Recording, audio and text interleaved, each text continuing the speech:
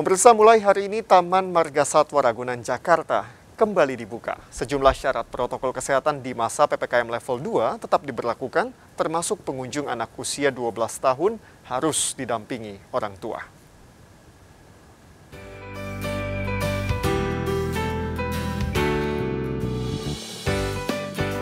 Anda rindu berwisata ke Taman Marga Satwa Jakarta?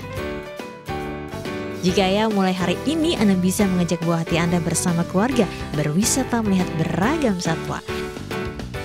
Mulai dari gajah, harimau hingga orang utan. Di level 2 PPKM saat ini, jumlah pengunjung wisata tetap dibatasi yakni 50% dari total kapasitas. Selain berKTP Jakarta, pengunjung juga diwajibkan melakukan pendaftaran H-1 sebelum waktu kunjungan melalui pendaftaran online. Setiap pengunjung yang memenuhi syarat juga diminta mengunduh aplikasi Peduli Lindungi untuk pengecekan vaksinasi. Taman Wisata Ragunan kembali dibuka untuk semua kalangan termasuk anak usia di bawah 12 tahun.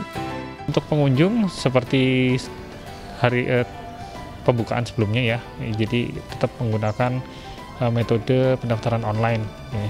Hari ini sudah kita buka untuk pengunjung yang mau mendaftar, yang besok mau datang silakan eh, mendaftarkan sekarang dengan syarat KTP DKI Jakarta. Kemudian uh, syarat berikutnya adalah sudah tervaksin.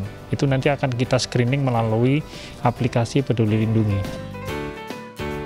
Waktu jam operasional dibuka setiap Selasa hingga Minggu, mulai pukul 7 pagi hingga pukul setengah 3 sore.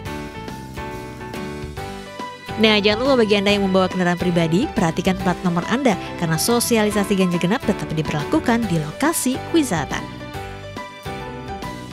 Dari Jakarta, Esra Ambarita, Dendi Bernandi, iNews, melaporkan.